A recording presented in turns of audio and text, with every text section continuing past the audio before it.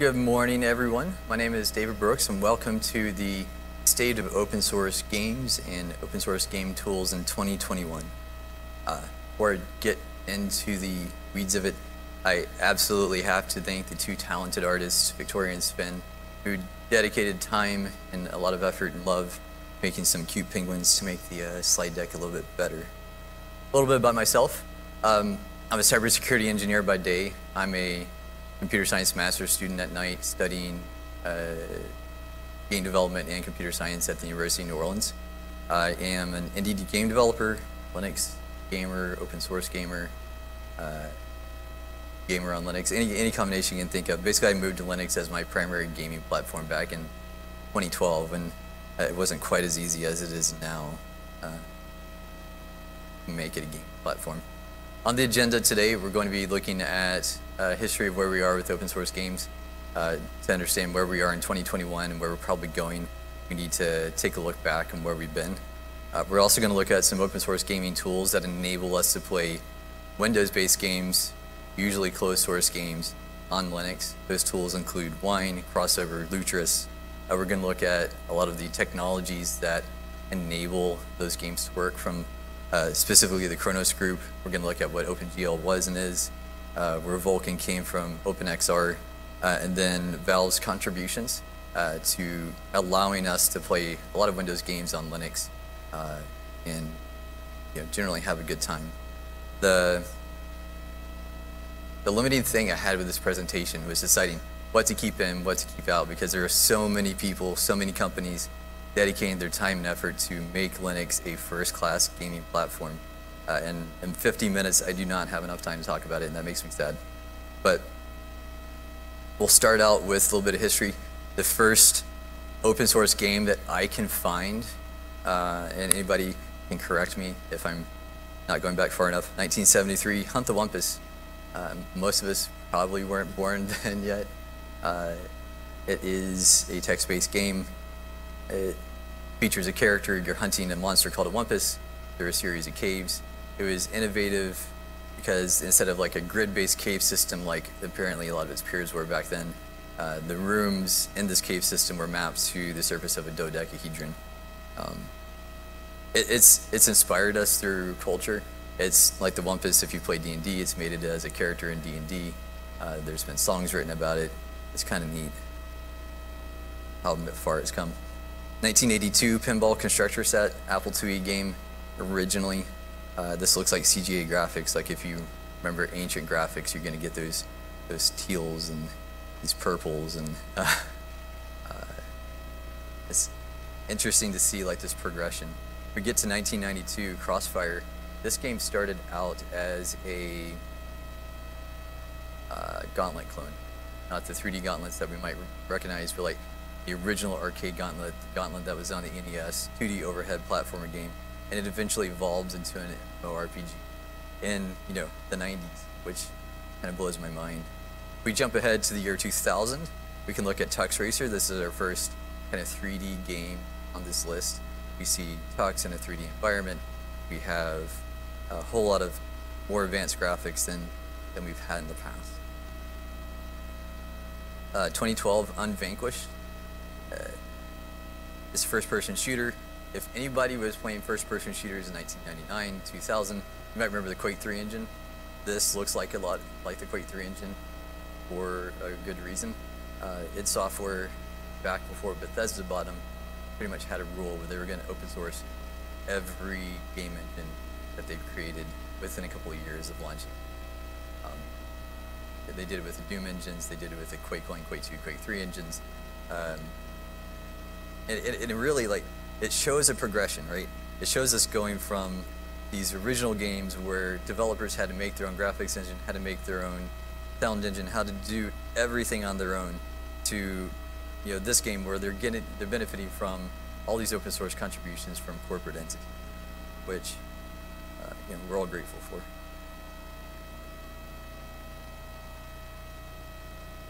In 2021, 2020, depending on where we start this decade, like where we start counting for uh, Index 0, Index 1, there's been no culturally significant open source games released. Um, there's two ways to look at it. These games uh, are still to be released here in 2021, and uh, that could be all. Or uh, they're just not culturally relevant yet. Like we don't know about them yet. They're being developed. They're in initial release, but not enough people are playing them to get them on the majority of our radar. So they're not in a repository. You can't just do app get install game. You can't go and uh, you know any any common places and just find these. So it's possible these games are being made, but in a couple years we might see them. Looking at the number of open source games released per year and by decade, like we can see 1970s we had a whole you know two games released. 1980s we had a bit more. 1990s we start seeing uh, an explosion of games and the the way a lot of people feel about it is id Software really kicked the open source game development process uh, from very very low enthusiasm to a much higher enthusiasm as they released all their technologies. Um, you notice I didn't specifically mention Quake 3 as an open source game because they open sourced the engine, they open sourced the technology, but they didn't open source the game. The levels, the characters, the music, the sound, everything else uh, is closed source. Well, all these other games we're talking about, uh, all the media is released under a Creative Commons license. Um, but what they did, you know, really helped a lot of people see the excitement, see the value. Number of open source games based on their initial launch date, initial release date, and are still in development. Um, it's kind of interesting to see like this one off here, 1984, still in development in 2021. That's like GNU chess. Um, you can still go download it. It's being maintained. Pretty cool stuff. Um, but out of the 101 games, you know, we see on this chart, only 19 of them are, are still in development in 2021. So if you want to make a game, you want to make an open source game, uh, please do. Uh, you were just at the keynote, you saw the Linux Foundation is releasing uh, new tools, has already released new tools to make games. It's a you know new engine. Go get it, go use it, go contribute to it, please. We, we all want to play what you have to make. So why is gaming on Linux so hard beyond open source games? Um, my better half tells me I play the get the Linux operating system working before I actually play a real video game game. Uh, if we look at this, this is, I've done this so many times, like zero hours in, okay, I should be able to, to boot BSD soon or play whatever game I'm trying to make. Uh, six hours in, I'd be happy if I can get it back to where it was when I started. You know, 10 hours in, I can at least fix the problems laptops developed, but the desktops are lost cause.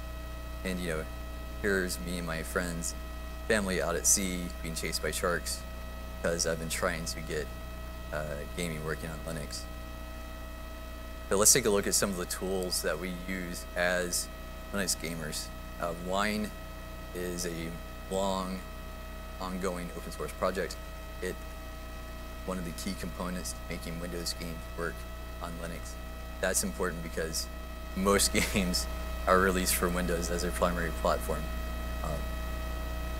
It's starting to change now. A lot of companies, a lot of especially smaller studios, are releasing games native on Linux in addition to Mac OS, in addition to Windows. But there's still like all the major companies are not doing that. It's um, well, a lot of the major companies are not doing that yet. So what is Wine? Wine, Wine is not an emulator. So what's, what does that mean? Wine is basically taking a Windows binary, so a game compiled for Windows, trying to make it run on Linux. Uh, instead of trying to emulate Windows, uh, what it's doing is providing basically a compatibility layer. So it is taking the calls that the Windows game is trying to send to the Windows operating system, intercepting those, converting those to something that the Linux kernel can use and uh, run, then you know back to the game. Um, it's very performant. It's it is very capable. Like pretty much any game you can think of has an entry on their website has someone working on it. It has uh, ability to be played. I want to talk about Crossover. Crossover is a paid implementation of Wine. They, I think it's charged $60 a year. You can open up two tickets with them if you're new to trying to get gaming on Linux working. it can be a big technical hurdle. You might just want to get in and start playing your favorite game and not have to spend a lot of time. Uh, these guys um, are basically, you know, making it where we have support. They're adding to and contributing to Wine, and they're also backporting everything they're doing. Uh, I don't work for them. I want people to get hired by them so they can do, but you know, more good work for us. But they are hiring. So if you're looking for a job, they need a general Wine developer, uh, support team members and QA. Go apply. So Wine, uh, if we look at a Wine release short changelog, we're going to see some fun things here, like added support for Wine 64 and Apple M1, which is kind of cool. So like Wine uh, has initial support on Apple's new Silicon. Um, we have translation updates. So they try to make sure it works in every language possible. We have documentation updates. And this one various innocuous looking line, various bug fix, various bug fixes. And this, this is kind of what goes into a release. Uh, all these all these patches came from uh, stable, and then testing and eventually made it here. Some of these patches, I was hoping it'd be bigger, but some of these patches are game specific. Some of these patches are just general something having to do with wine. And it's interesting, you'll see game specific things like your favorite game loads up and it's just a gray screen and you don't see the main menu. And it's just this weird bug in wine. Someone has to go in there and address it and fix it. Uh, part of the reason that might happen uh, kind of goes back to the way actual games are made uh, for Windows and the process that happens. Um, there could be some strange bug the developer found when they were making it, when they were testing it. They might get back with Microsoft saying, hey, we found this really weird interaction with the way our game runs on Windows 10. Um, they might come back and see, oh, this is a graphics driver issue, and uh, DirectX isn't creating the exact same output on on NVIDIA graphics drivers, on AMD graphics drivers, and Intel graphics drivers. So they might work with all three of those companies to try to make some specific fix for their game into the graphics drivers. And those specific fixes probably haven't made it into Wine up until now. Um, and eventually they get there. Wine has something called the AppDB. If you're not sure how well your specific game is going to work, uh, you can go into the AppDB literally search for whatever game you want, and there's going to be an entry for it. In that entry, you're going to see test results from other users. You're going to see bug results, uh, bug postings from other users. You're going to see guides that say, all right, if you're having the issue where you launch Diablo 1, everything looks like a Christmas tree uh, instead of an actual game, then try changing these such and such settings and it's a very helpful community. It's a very responsive community. So when you post a bug, someone's usually going to try to recreate it within a day or two, from my experience. Uh, no telling when it's going to get fixed, but you know, someone's going to look at it. Someone's going to try. Um, Lutris is a piece of software that enables us to kind of merge a lot of technologies together. We don't have to think, what graphics drivers are we using to convert from DirectX to Vulkan? What graph, what uh, version of Wine are we running? All these different components that allow the games, Windows game to talk to the CPU and Linux, allow the Windows game to talk to the GPU and Linux, uh, allow the Windows game to talk to our uh, sound card, our audio device in Linux, are kind of managed, it can be managed by Lutris instead of trying to do it the hard way. Um, and, and kind of going back to the, the joke about playing the Linux game, trying to make your computer work. Uh, right before I got this set up, um, my computer decided it did not want to mirror screens, so I am awkwardly looking over while trying to show this. But to launch, you know, you know, you just install Lutris using your favorite repository. You can go to Lutris website, grab it. But to launch it, you're just going to type Lutris. It's going to give us a nice little window, and this window is, uh, you know, kind of removes all of our, all of our fiddly around on the command line, which is nice. I can see, I think that one this config, yeah. All right. So we can go in here, we can see which version of wine we're running. uh, and it's anything you have installed. It can also install other wine versions that for you. We can see over. Which one of those is DirectX or DXVK? Is that it? Yeah. That is what 1.9.2. I hope. Cool. Thank you. First audience question. Um, but there's there's basically every setting in here that you can think of to make a Windows program run on Linux, and all of these settings were spread across multiple config files in the past, spread in multiple different config tools in the past, had to be sometimes installed manually from source. Uh, it was a jumbled mess. Lutris comes in and makes it a whole lot easier to, to manage our games. Uh, like for instance, if I want to play it, all I do is right click, click play, and it, it always makes my heart skip a beat because it doesn't do anything for a second. Um, but I've learned patience is a key. Like, don't try to kill the process. Don't don't try to do anything for a second. Like it's it's probably going to launch. It just takes a second for it to convert from trying to run on a Windows environment to, to Linux, but it is performant. It, like the amount of strange things like you don't expect, like getting when Microsoft Core fonts in here, getting like this is this is really just uh, an Edge browser, like getting Edge installed. Like there's so many components just to make this one simple looking looking game launcher work that you just don't think about. And, and that's really where we want to be as gamers, right? We don't want to spend our time trying to make the computer play a game. We want to spend our time playing the game, uh, and that's that's what Lutris does for us. Um, this is Diablo 2's remake from Blizzard. It just came out last Thursday.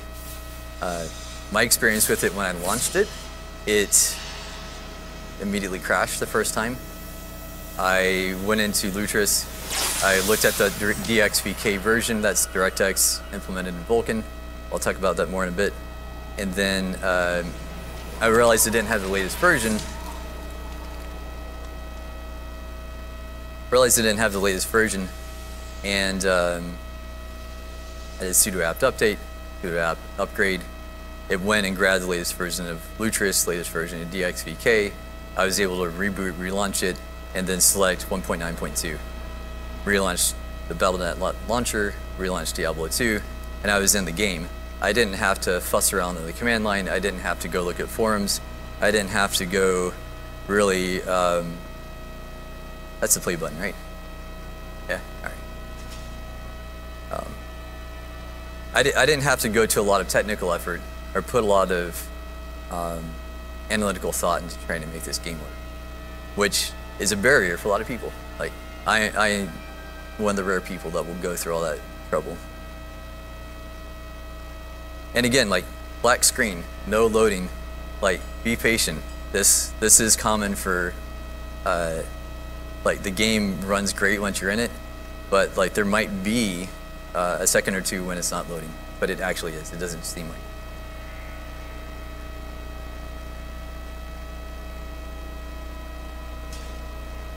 I just want to show and prove that you know, some game does work here. Uh, saving.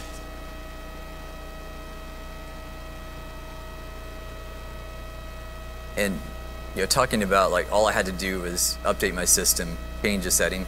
Back two years ago, three years ago, and before, I would have had to either create the patch myself to make this work, or wait till someone else did, which might be weeks where my friends are playing the brand new launch game and I can't. You know, I'm just sitting there looking sad while they have fun.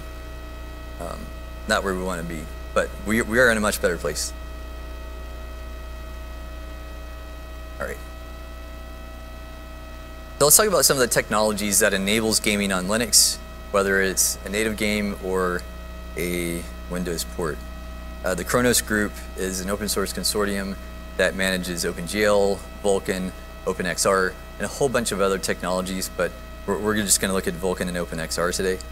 Um, Vulkan is like OpenGL. If y'all remember OpenGL, OpenGL was and is a graphics API that gives programmers the ability to talk to the GPU and tell it to do something specific.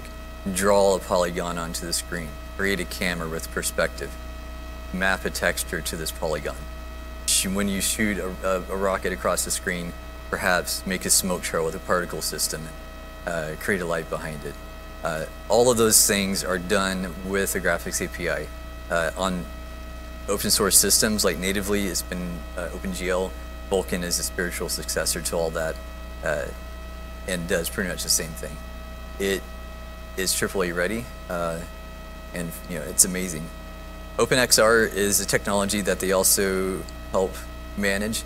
Uh, it allows for virtual reality. It allows for augmented reality, and it's it goes into making virtual reality possible on Linux. Like I play VR games with a, a Steam uh, headset, you know, Valve headset uh, on my Ubuntu machine, and it, it's just seamless. Like I click the button, game launches, I'm happy.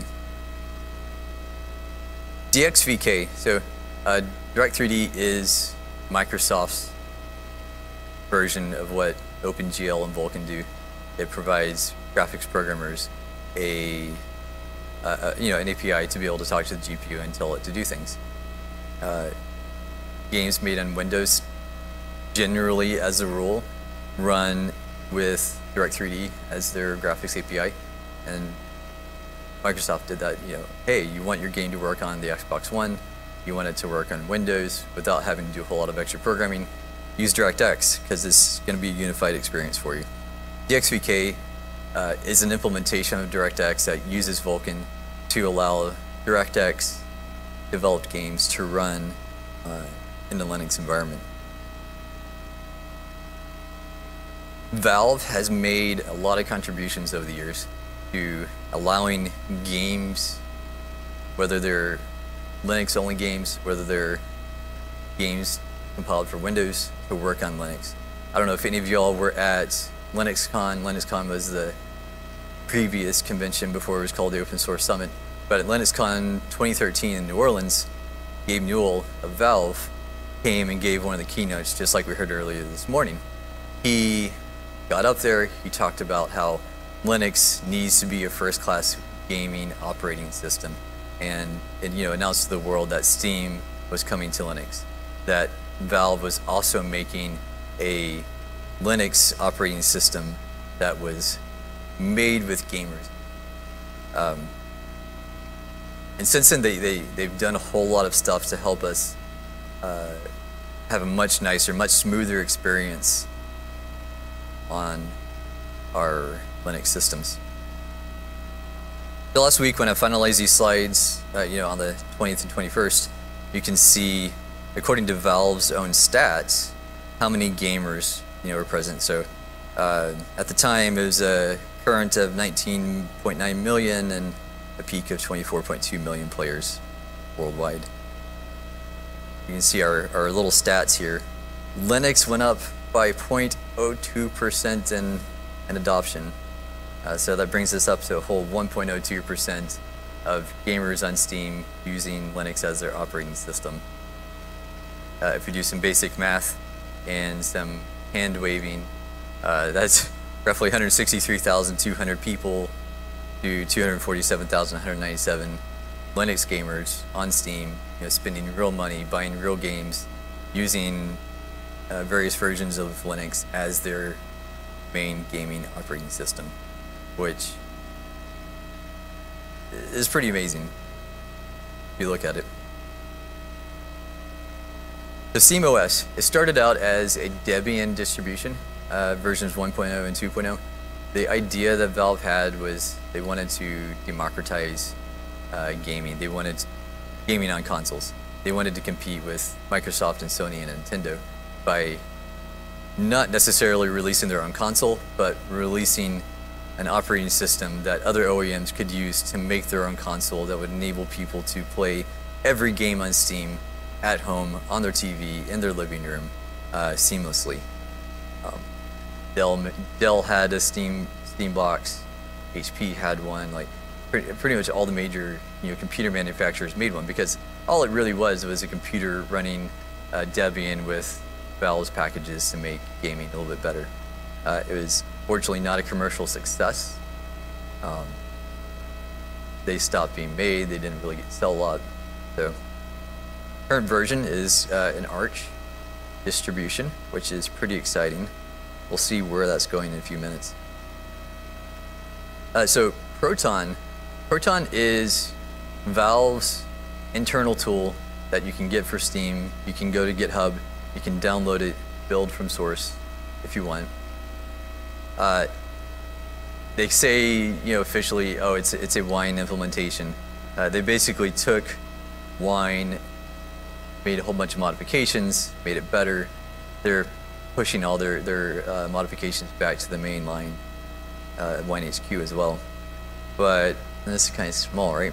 If we look at this, this has more than Wine in it. We have OpenXR, we have uh, audio here, we have DXVK here we, we have basically all the tools you need, kind of like what Lutris does for generally gaming in Linux, like pulling Windows games for Linux. Proton kind of does that with a whole lot of extra support from Valve, uh, specifically for Steam. So SteamOS has made its way into something called the Steam Deck. Uh, I think they're going to be launching this at the end of December into next year. Uh, they claim it's going to be able to run every game on Steam right out the box. Um, if anybody can pull that off, it's Valve because they have pushed the goalposts so far, like getting us so far to making almost every Windows game work on a native Linux environment. Um, well, they, they, they have a good shot. So uh, this is so the, this computer here is a Chromebook. It's um, the new Acer 173 Spin. It's got the new Intel Core i5 Evo and uh, the Iris Xe GPU from Intel. Uh, and I, I got this one because it is, you know, probably our best bet, you know, on the market is something you can get, something you can afford to be able to play uh, games on Linux.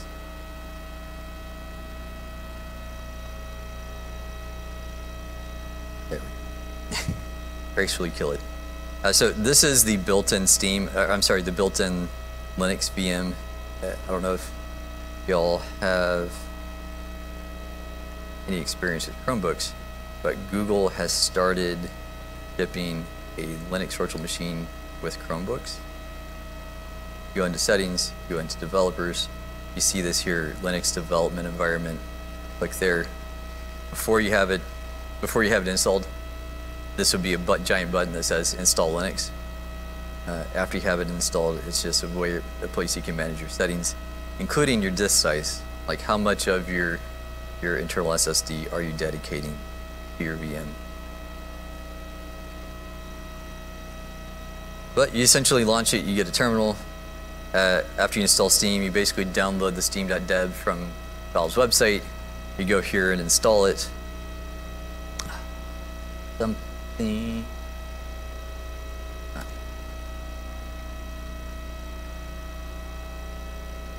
This way. So again, this is me playing the Let's Make Linux Work game.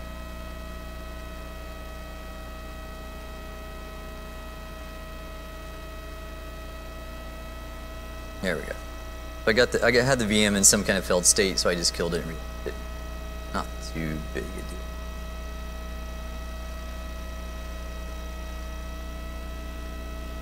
And here it is, like here's here's Steam, like this is not Steam Light, not something like Steam, this is the Steam. Uh, we can go and launch a game. We'll try Half-Life 2. Again, like there's that pause when my heart drops. Is it going to launch? Uh, but it did. Um, and you know, here we are on a Chromebook that's uh, somehow we're forcing it to to run to run Half-Life 2 on here. So this this is a 2K display. Uh, graphic settings are maxed out. Um, you can see it's loading quickly. You can see that the game looks like it's supposed to. We're not getting visual artifacts. We're not getting audio artifacts like the sound. Rise and shine, Mr. Freeman. Rise and shine. Not that I wish to imply you have been sleeping on the job. No one is more deserving of a rest, and all the effort in the world would have gone to waste until... Well, let's just say your hour has come again.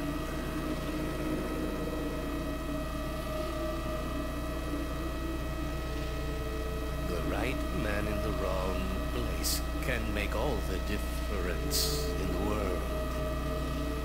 So wake up, Mr. Freeman.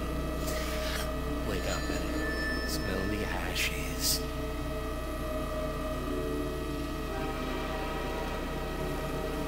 You know, and here we are. We're, we're in the game. We're playing. Uh, we basically had to do very little work to get this, get to this point. Um, so,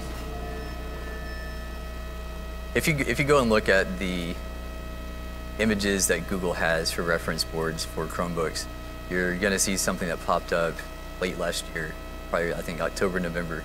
Uh, something called Borealis as a reference board. Uh, and from what the Chromebook community has been able to suss out, it's um, Valve working with Google to make Steam be a native app on Chromebooks.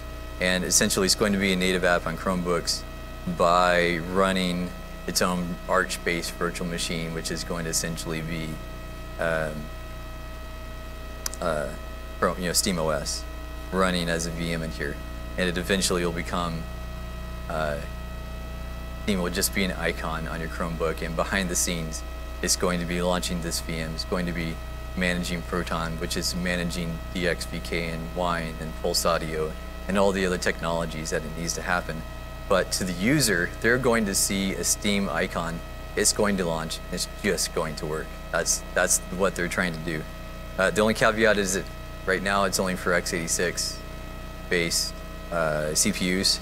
So if you're on an Arch, um, not Arch, uh, if you're on anything else, it's just not going to work, sadly. Um, quick limitation. This is essentially only running, only able to run native Linux games right now. So this is Steam. This is like Half-Life 2 has a build for Linux, uh, but we can't run games that were developed in DX, uh, DirectX yet. Mainly because there is not a DirectX DXVK implementation for the GPU that the virtual machine, the Linux virtual machine on this thing has. Like if you ask this thing, well, what kind of GPU do you have? It's going to say my manufacturer for my GPU is Red Hat. And you're like, wait, Red Hat makes hardware?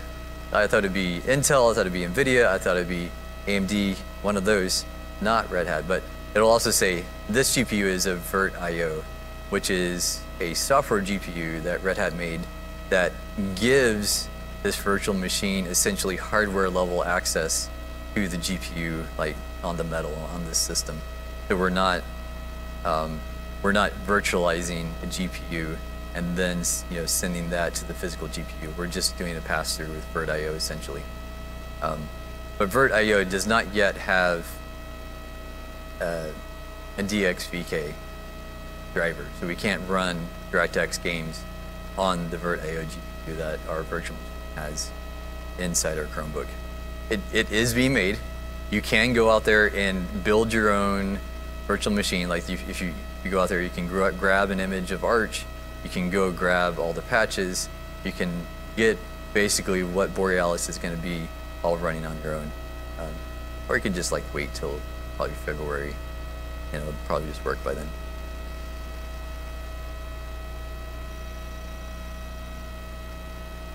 I'm going to say it, 2022 will be the year of the Linux desktop. You know, here we are, you know, XKCD has a comic for everything you know, this guy saying, It took a lot of work, but this latest Linux patch enables support for machines with up to 4096 CPU, up from the old limit of 1024. And this guy's asking, do you have support for smooth full screen flash video yet? We'll scratch that out and say full uh, support for Windows gaming on Linux yet. And of course, this, this kernel developer is saying no, but who uses that? And every time I've seen anybody make a prediction like this is going to be your, like this is a killer feature that we've needed to make Linux the main OS that people use. Um, no one's ever said gaming. Gaming, uh, in my mind, I was like, it's not going to be this year because we do not yet have gaming as a first class way to, to use Linux. Um, but thanks to a lot of the efforts from Valve, the open source community, um, you know, people we didn't get a chance to talk about today, Epic and a whole lot of other companies out there, they're, they're, they're doing their hard work to make this happen. Yo, any questions? All right, what you got? Uh, that is a good question. I want to say KVM, but I would need to go fact check that to be sure. And the question was, what kind of hypervisor is the Chromebook using to launch uh, NEV? Because uh, the one the one that Googling and Valve are going to be using is essentially going to use the same hypervisor as the Debian-based one here does. Um, and it, it, you can go and grab the Arch image and use it. It's going to use the same hypervisor. Any other questions? Do a poll is a, oh, go ahead.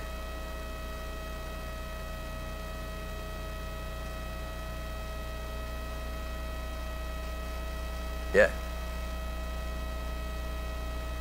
Yeah, so the question is, um, there's a lot of games out there that won't work not because we don't have graphics drivers or Wine, but because the games are developed with an anti-cheat mechanism that is just is not supported on on Linux yet. And uh, Epic Games uh, and Valve actually, and it, it is it's crazy awesome how fast this is moving. Like this is, I think, news that is two days old. Uh, they both announced that their mainline uh, anti-cheat software now uh, has native builds on Linux. Uh, so games like Fortnite uh, which otherwise would run fine on Steam with Proton, um, on Lutris, you know, with DXVK and everything else. Uh, we're just missing that anti-cheat mechanism. But now that it's officially, you know, come from Epic as a native build to Linux, uh, it, we should start seeing that come through as soon as specific game developers are able to implement it for their games and make it work for their games. Um, it's also possible that Valve might beat them to it and say, we really want Fortnite or whatever game to just work uh, because they have a financial incentive uh, from the Steam Deck coming out late this year or early next year. Uh, they might do the hard work themselves, but um, it's just a matter of time now, now that the technology's there. Any other questions? So I'm curious, how many of y'all are like gamers on Linux? One, two, three, four, five, six, seven. Awesome.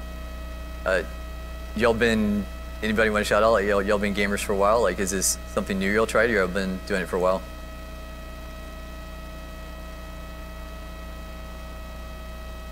Yeah, no worries.